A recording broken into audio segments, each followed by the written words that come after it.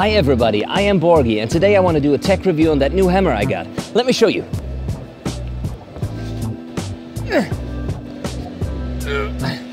Hold on.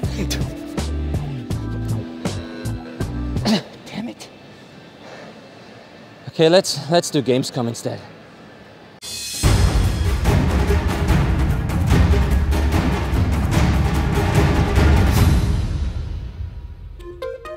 Yeah, so I'm at Gamescom at the moment working as a stage cameraman. But before I get into what exactly that is and what it involves, let's take a look around at the Gamescom. Here we go.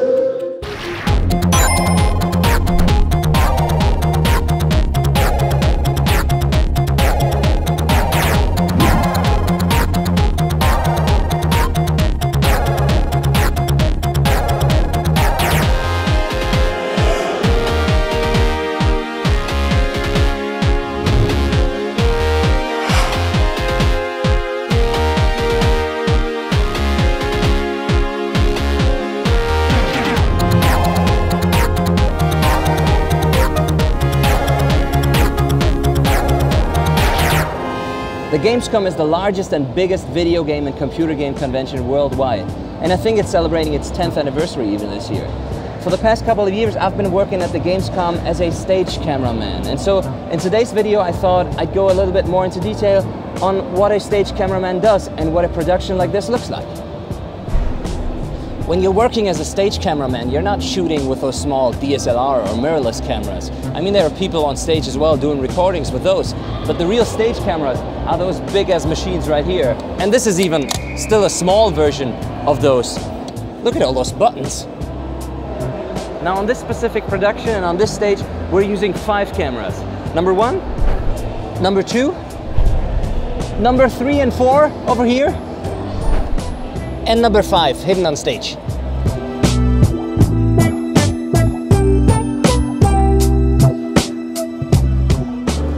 Okay, so we've got five cameras and five camera operators, but how do they know when and what to film? That's pretty simple. We've all got our headphones on, and we're all connected to each other and to the director. And the there's actually people talking right now. And the director is the guy who tells us what to film and when we're live on the air. So for instance, he would say, camera four, give me a close-up of the guy playing Counter-Strike or FIFA, whatever. And I'd say, camera four, ready. He'd say, camera four, you're on.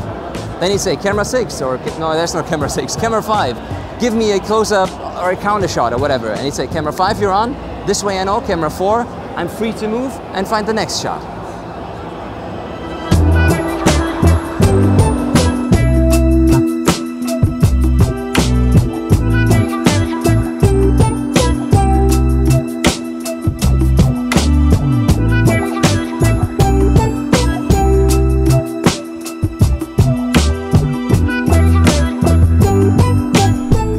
I don't think I've actually told you what exactly happens on stage here. This is the ESL stage, and ESL stands for Electronic Sports League. And this is where professional video gamers, or pro gamers as they call them, play against each other in teams or solo in different types of video games for huge amounts of prize money. And for me as a stage cameraman, most of the work happens in between those matches. During the introduction of the players, the introduction of the game and its rules, because whenever the match starts, what you see in the stream, obviously, for instance on Twitch, is the in-game footage. So I get to take a break. But depending on the type of game, it may take up to one hour before I have to pick up the camera again, which can get kind of boring.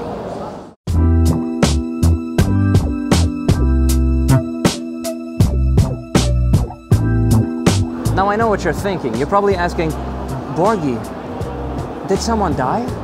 Are you attending a funeral? No, everything's fine. Thank you for asking though. This is just our dress code. They ask us cameramen to wear black or at least dark colors. First of all, so that we fade into the background in case we accidentally run into the shot of one of our colleagues.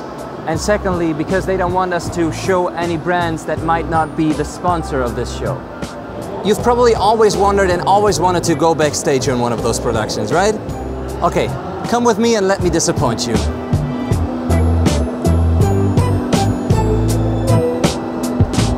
There's nothing back here except fans and electronics.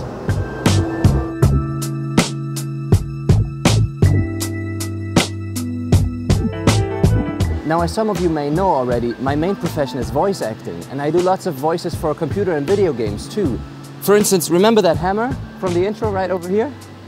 This belongs to a character called Sledge in the video game Rainbow Six.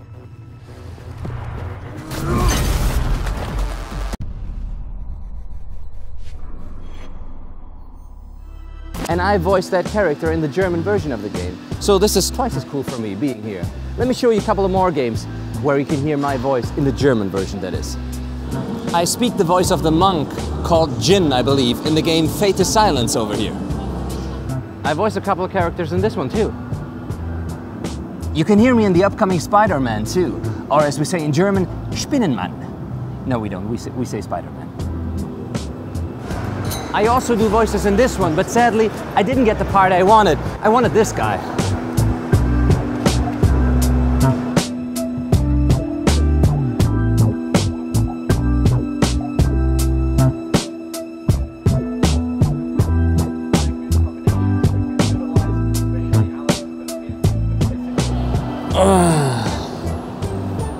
Five days of Gamescom have come to an end, and that was it from me and my little insight into the work as a stage cameraman. Let me know in the comments below what is your favorite video game? What game can't you get enough of? Don't forget to subscribe to my channel, and until next time, don't wait. Go create. Auf Wiedersehen.